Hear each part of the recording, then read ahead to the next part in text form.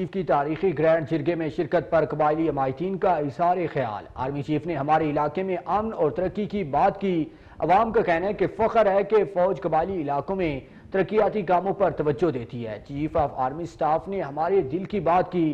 खैबर पख्तनख्वा और जिला खैबर में अस्सी फ़ीसद तरक्याती मनसूबों का आगाज़ पाक फौज ने किया। आर्मी चीफ ने कबायली आवाम की तरक्की और खुशहाली को मुल्क के लिए नागजीर करार दिया। आवाम का कहना है कि आर्मी चीफ ने तालीम, रोज़गार और दीगर शोबों में ताउन की यकीन दहानी कराई है। कबायली माहिदीन भी हर लम्हा पाक फौज के साथ खड़े हैं। आर्मी चीफ ने हमारे बहुत से तहफात दूर किए हमें मुतमिन किया। रियासत को चैलेंज करने वाले अनासर के खिलाफ पाक फौज के साथ खड़े हैं। चीफ ऑफ़ स्टाफ ने ऐसी बातें की कि वो हमारे दिल से निकाले।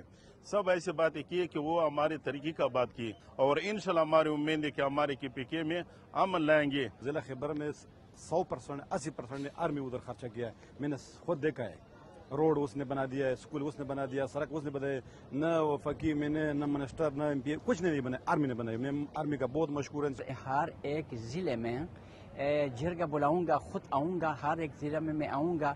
वहाँ जाकर जिरगा बुलाऊँगा जिरगे जिरगे जिरगे के थ्रू से हम वहाँ अम कायम करने में लोकल लोगों के साथ हम ताउन करेंगे। चीफ ऑफ़ आर्मी स्टाफ ने ये वाजे किया कि कबाइल जो है वो पाकिस्तान की रीढ़ की हड्डी है और इंशाल्लाह मुस्तकबिल करीब में जो है हम डेवलपमेंट्स प्रोजेक्ट्स एजुकेशन पे और तमाम तर जो कबाइली अवाम के साथ जो वादे किए गए इंशाल्लाह उस पर नजरसानी भी करेंगे और उसकी इम्प्लीमेंटेशन पे काम भी करेंगे। आर्मी चीफ साहब जो आया था माशाल्लाह उन्होंने बहुत अच्छी बातें की और सालों जवाब दिया तकरीबन हमें बहुत से बातों में मुतमिन किया। जो सिपा सलार है, वो हमारे दुख और दर्द में इतना दिलचस्पी रखता है, जो कि आके हमसे पूछे भी और हमें हल भी बताए। इनशाला हमारे कबायली अजला का जो मसाइल है, वो इनशाला हल हो जाएँगे। और हम मशरान और अवाम फौज के साथ शाना बशाना खड़े हैं और डट कर उन दहशत गर्दों से मुकाबला करेंगे।